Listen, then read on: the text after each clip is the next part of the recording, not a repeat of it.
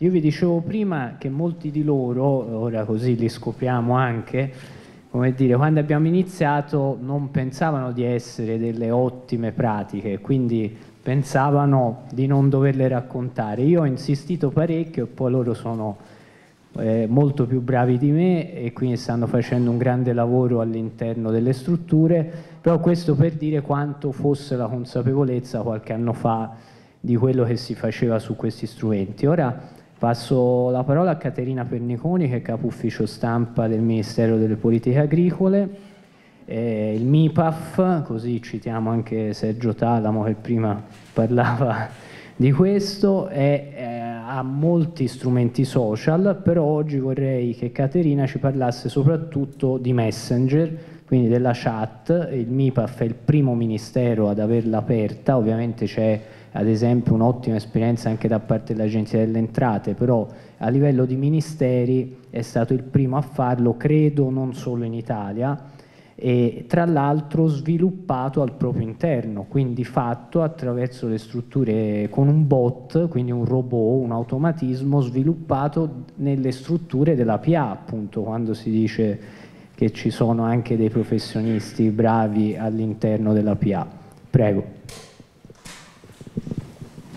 Buongiorno a tutti, eh, intanto grazie a Francesco per, questa, per, aver organizzato con noi e con la nostra esperienza questa mattinata, grazie all'Ox, grazie al Formas e naturalmente al Ministero che ci ospita per l'occasione. Um, la, la, seconda frase che mi ero segnata oggi, Francesco, era alcuni hanno iniziato senza sapere di essere innovatori perché, come dice giustamente eh, come ha detto giustamente Francesco, quando, abbiamo, quando siamo arrivati quattro anni fa al Ministero delle politiche agricole i social non c'erano, era, era, completamente eh, assente questo tipo di comunicazione e quindi per noi è stato un po' come costruire una start-up. Eh, una start-up che abbiamo ritenuto necessaria perché comunque tutte le persone, che, tutti diciamo, gli innesti che erano arrivati in quel momento erano persone giovani che avevano eh, diverse capacità di lavorare e parlare con i social network e vedevamo anche che c'era un'interazione molto interessante sia nel ministero dove, da dove io provenivo, quindi dal Ministero della Cultura,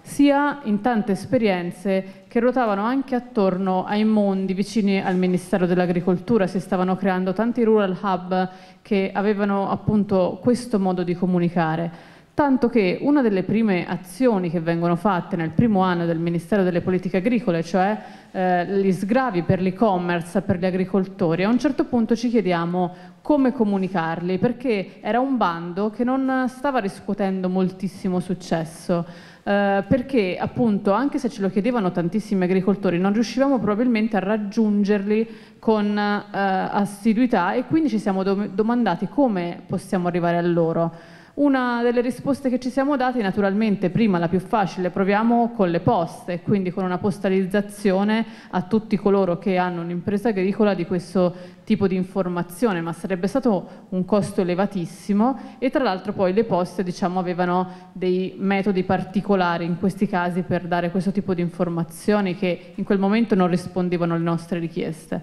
Eh, da lì abbiamo cominciato a pensare di far crescere i social network anche come modo per arrivare a, eh, a, alle persone che, che, che diciamo, lavorano, ai nostri interlocutori che lavorano, agli imprenditori agricoli.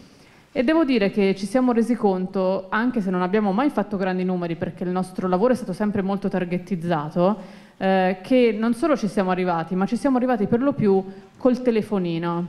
Perché comunque in, nel nostro paese permane un digital divide veramente ancora in alcune zone molto importante, mentre invece con il mobile, al contrario di quello che ci diceva per esempio eh, Marco, che loro hanno invece un, un tipo di, di, percentuale diversa, noi siamo arrivati a tantissime imprese agricole, a tantissimi agricoltori attraverso il cellulare. Questa è stata diciamo, una delle, del, delle, prime cose di cui ci siamo resi conto e poi ci siamo resi conto che tante domande su come partecipare ai bandi, su come partecipare a mh, iniziative che venivano fatte dal Ministero ci arrivavano via social, tanto che a un certo punto, non avendo il nostro Ministero un URP particolarmente sviluppato, cominciava ad essere quasi preponderante il tipo di domande, di interazioni che ci venivano fatte da cittadini su temi naturalmente sensibili al mondo dell'alimentazione e del cibo e dagli imprenditori agricoli sui temi relativi al Ministero. A quel punto eh, essendo noi un, un, piccolo ufficio stampa, perché c'è un altro tema che qui oggi in parte, grazie anche al, alla prima parte di questa sessione, è stato affrontato, cioè dove, dove deve stare la figura del social media manager e coloro che lavorano all'interno di, di, di, questi uffici deve stare nella parte amministrativa o deve stare nella parte ufficio stampa e quindi di gabinetto. Nel nostro caso è stato così, ma appunto per un puro caso perché siamo una start-up, perché le persone che erano capaci di fare questo lavoro erano all'interno dell'ufficio stampa e noi ci siamo in qualche modo intestati questo lavoro. Un lavoro che, come proprio eh, diceva prima Sergio Talamo, ormai è difficile da distinguere tra comunicazione e informazione, cioè il lavoro che sta facendo l'articolo 95 per riunificare queste due parti importantissime del lavoro che si fa all'interno della pubblica amministrazione è fondamentale perché oggi io lavoro, io che sono appunto un, un dirigente esterno, lavoro a strettissimo contatto col mio dirigente interno che si occupa poi della promozione di tutte le iniziative del Ministero. Quindi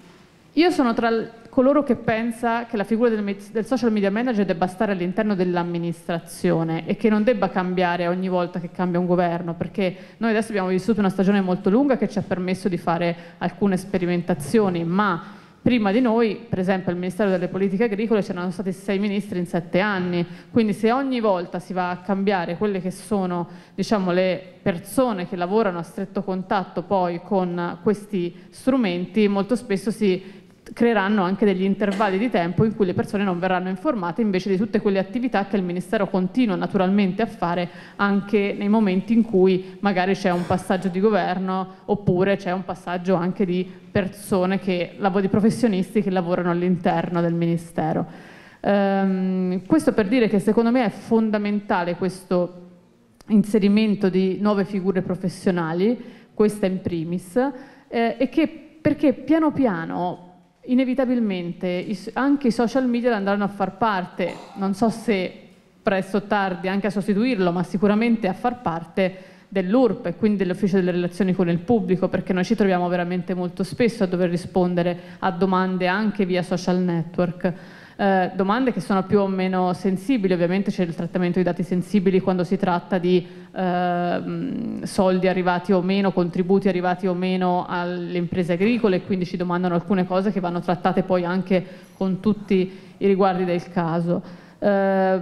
da questo punto di vista ci siamo provati ad inventare, abbiamo provato questa sperimentazione, cioè eh, di un bot e quindi adesso oggi dire, il nostro coordinatore di tavola ci ha chiesto di non, di non, portare le slide anche per velocizzare giustamente un po' i nostri lavori, però mi sarebbe piaciuto farvi vedere come, come funziona il nostro bot, eh, che in realtà è semplicemente un risponditore automatico ad alcune domande che abbiamo visto che sono le classiche che ci arrivano più spesso. Questo ci ha semplificato di molto il lavoro perché ci sono una decina di richieste, 20, 30, via via lo aggiorniamo, che ci arrivavano con grande costanza. A quelle richieste, diciamo attraverso il messenger di Facebook, si può eh, accedere automaticamente. Quindi una volta che si entra, si chiede, si vede qual è il tema diciamo, su cui si vuole fare la domanda e il bot risponde automaticamente. Um, abbiamo molto discusso anche all'interno appunto di PIA Social se questo sia un metodo più o meno corretto, cioè chi è contro chi è pro.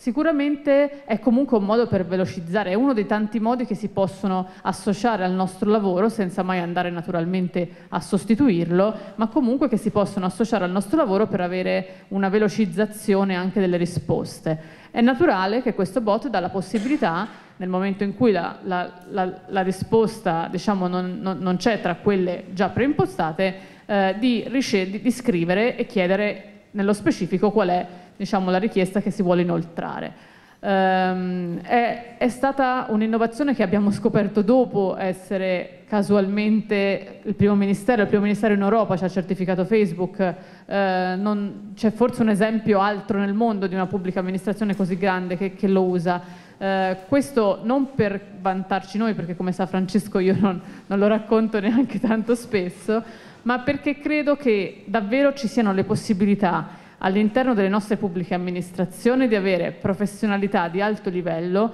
che possono sviluppare dei meccanismi anche di innovazione e che portano maggiori informazioni, portano maggiore trasparenza, sono del tutto all'interno del percorso di cui ci siamo occupati stamattina verso un'informazione sempre più chiara, sempre più trasparente e soprattutto più veloce perché spesso e volentieri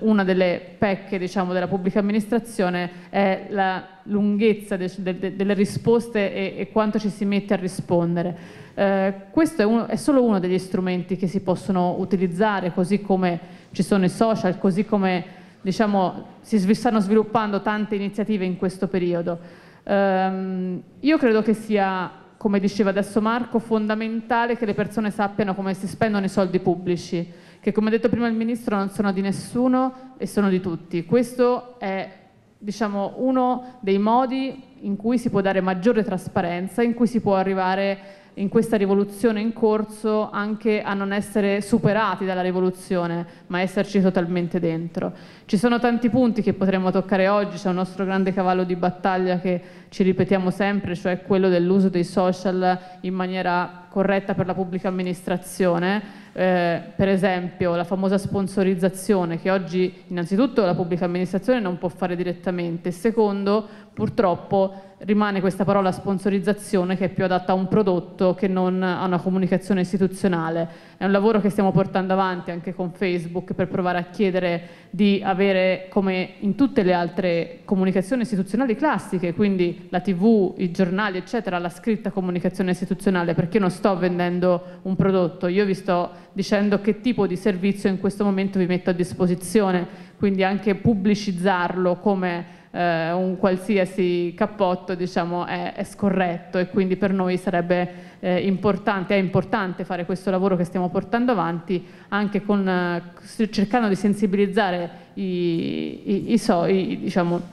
le piattaforme social per far sì che si possa arrivare a, a, un uso corretto per la pubblica amministrazione, perché è solo l'inizio, quello che noi ci siamo trovati davanti, abbiamo provato a fare, a costruire delle start-up, ma naturalmente eh, gli scogli da superare sono ancora tanti, naturalmente il nostro lavoro non si fermerà qui e continuerà come possibile a portare avanti queste innovazioni che lasceremo a chi verrà dopo di noi, ma soprattutto che diciamo, continueremo a eh, trattare come una rivoluzione in corso. Grazie.